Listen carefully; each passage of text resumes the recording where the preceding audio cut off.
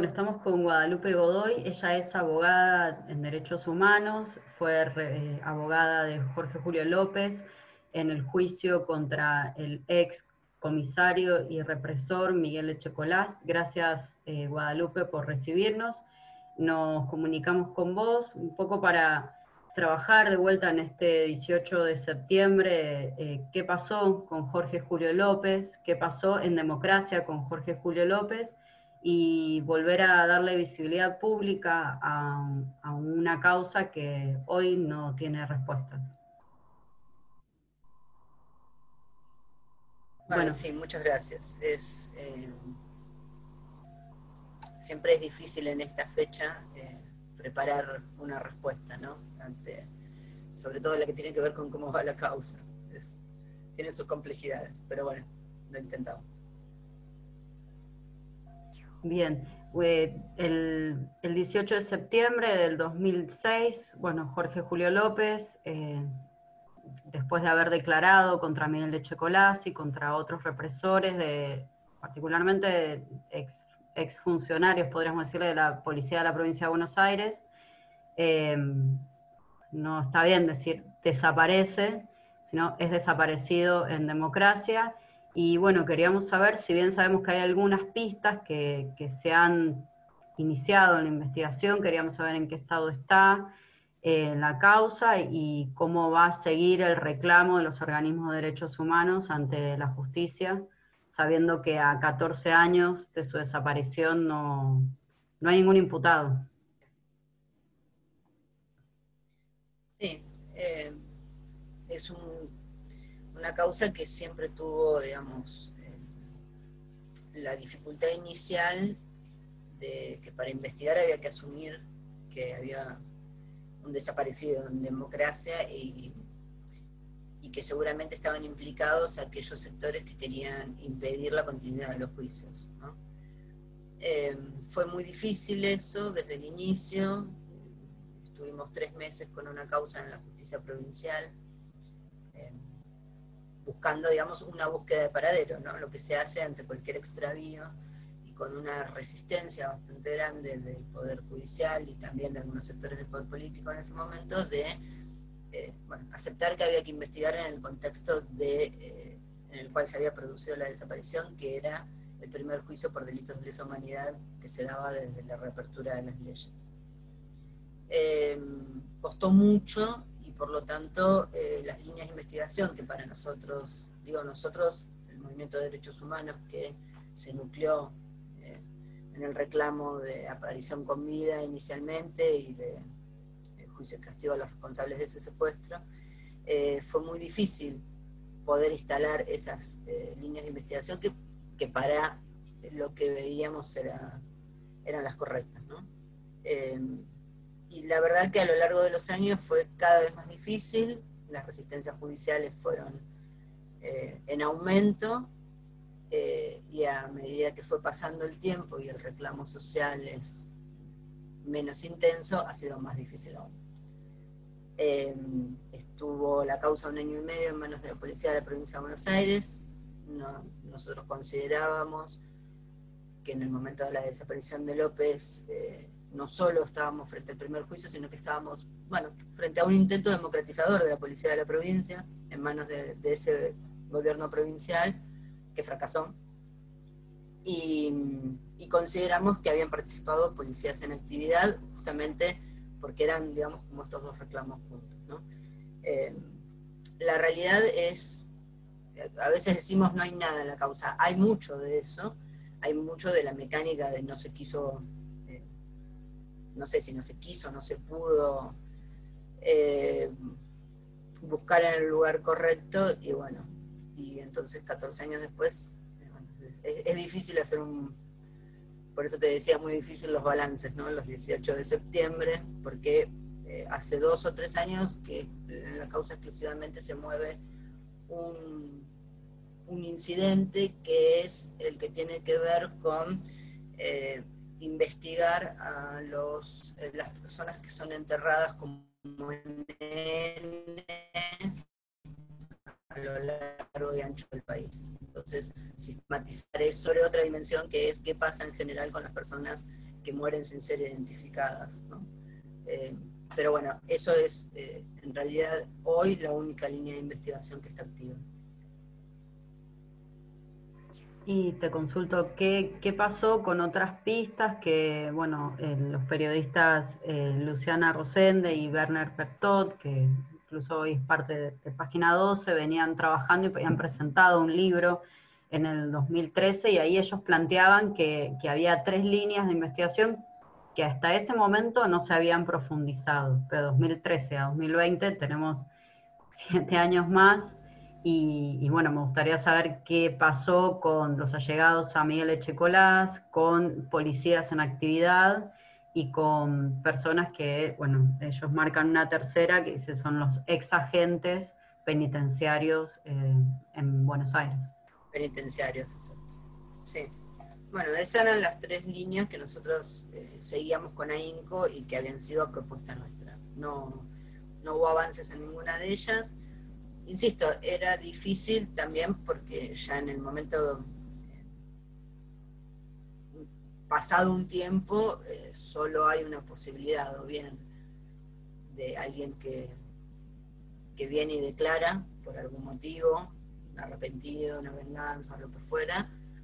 Y a medida que fue pasando el tiempo, también todo lo que tenía que ver con el análisis de, material telefónico y demás, eh, fue disminuyendo. ¿no?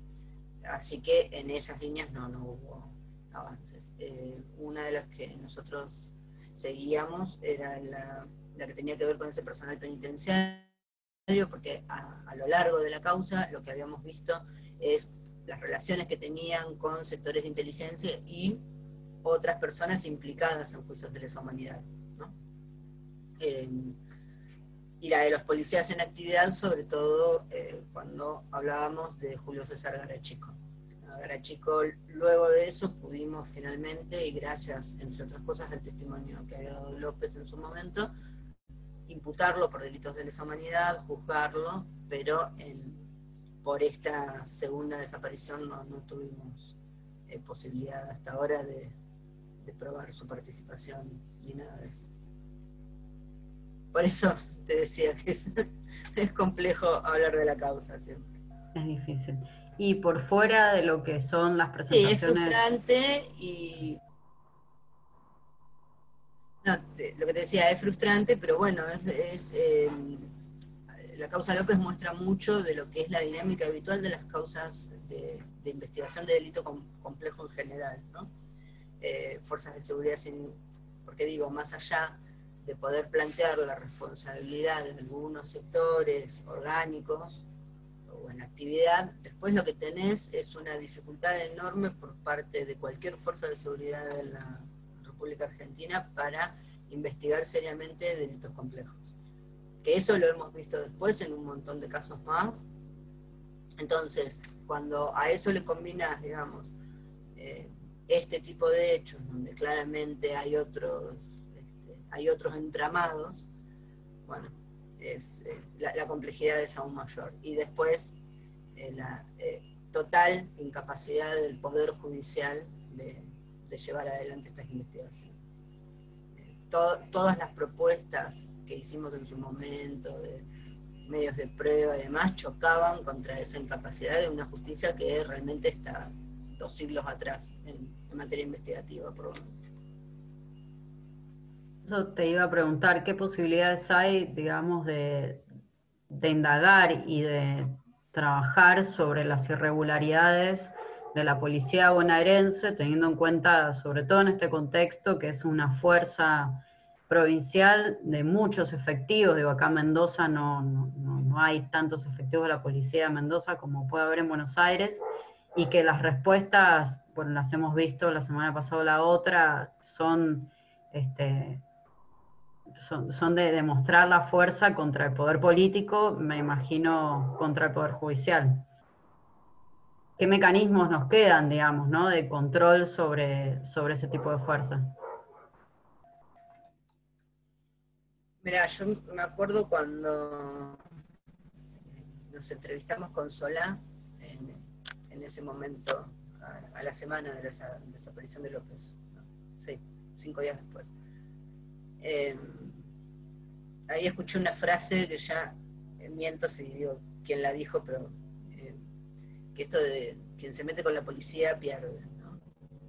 todos los intentos de reforma han fracasado y lamentablemente tiene que ver también con que muchas veces los sectores de poder terminan consintiendo la autonomía de, y entregan el, control político de la fuerza a, aquellos que la integran.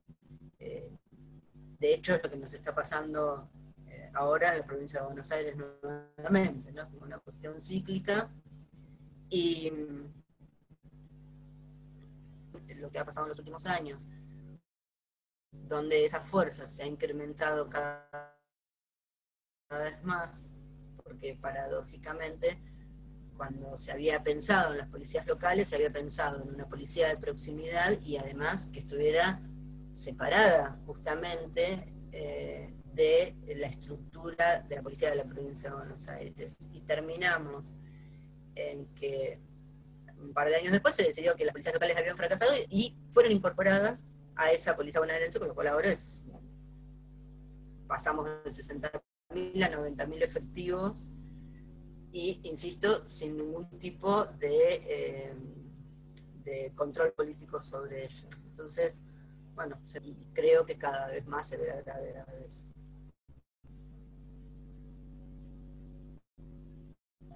Y como para ir cerrando, te pregunto qué otras acciones desde los organismos de derechos humanos se llevan adelante. Sabemos que bueno, se hacen marchas desde el 2006, todos los 18 de septiembre, por ahí quienes hemos estado, hemos vivido en Buenos Aires, hemos participado de eso, en el resto del país no, no, se realizan, pero, pero bueno, ¿qué, ¿qué otras cosas, además de la movilización social, nos quedan para estos casos? No, yo eh, una de las cuestiones es pensar, nosotros llegamos a estos juicios 40 años después, ¿no?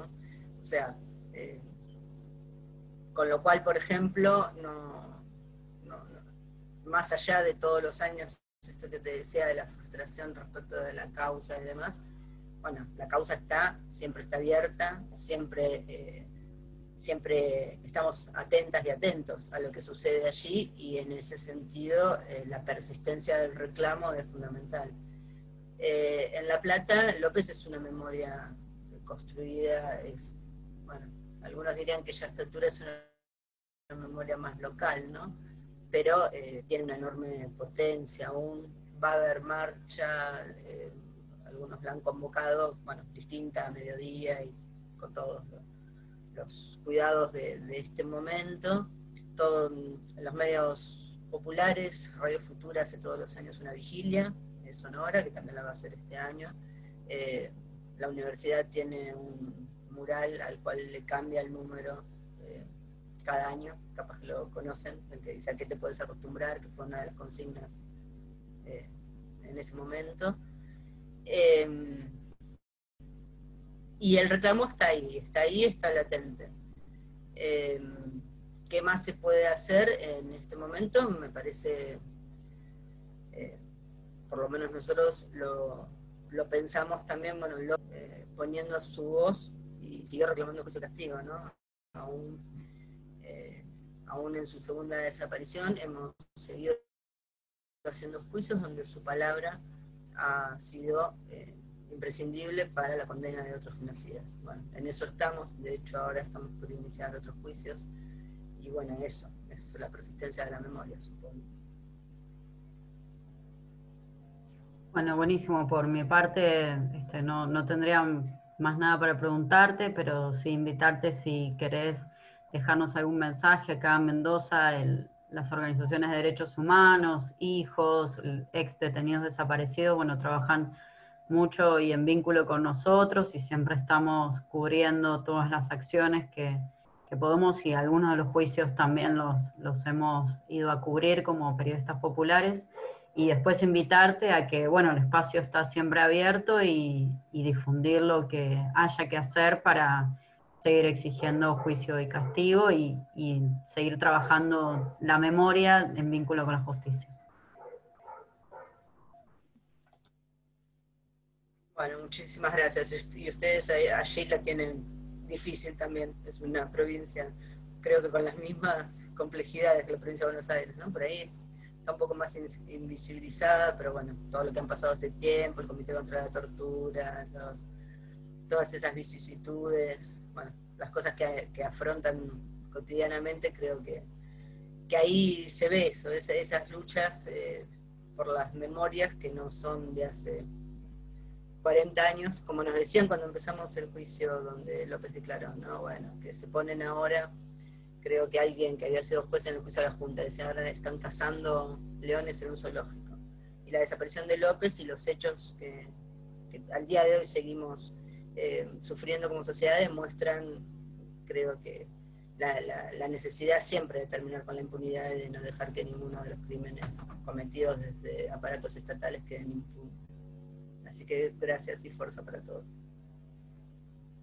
Bueno, a vos, buenísimo.